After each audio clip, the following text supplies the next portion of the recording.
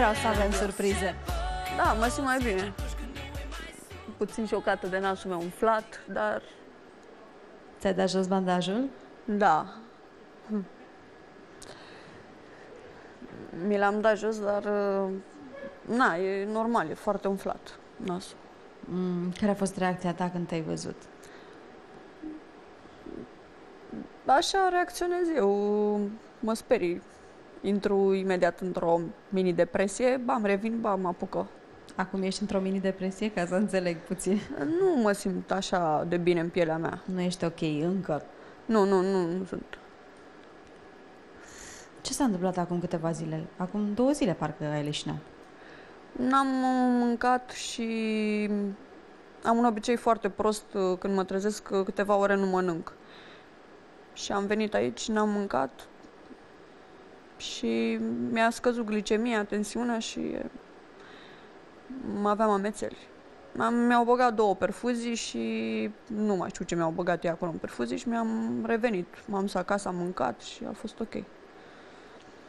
Bandajul când l-ai scos? Astăzi, ieri? Astăzi, astăzi. Astăzi. Presupun că uh, Da, nu știu, nu, Tremurau nu, sunt, mâinile. nu sunt pregătită să mă vadă nimeni. Poate trebuie să mă obișnuiesc eu cu mine. de asta ai venit și cu masca? Păi da. Da. A fost șocul atât de mare? Uh, Poate nu știu cum ar reacționa cei din jur, dar mm, e foarte umflat și parcă m-a bătut cineva.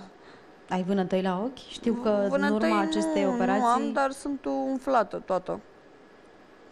Da, normal trebuia să am și vânătăi, dar mm, eu n-am. Bun, ce ți-a spus domnul doctor? E o chestiune normală, presupun, faptul că nasul tău e puțin umflat acum. E foarte umflat. Adică e mai umflat decât tu... Uh, Scuză-mă, Simona, știu că nu se face, dar uh, nu pot să... Ți-e rău? Ok. Să Uh, o să rog pe colegii mei să o ajute, poate i s-a făcut rău. Vă rog frumos, haideți, uh, luăm un teaser și ne întoarcem. Simona e în regulă, o să ne întoarcem uh, la ea uh, imediat. Uh, I s-a făcut puțin rău, uh,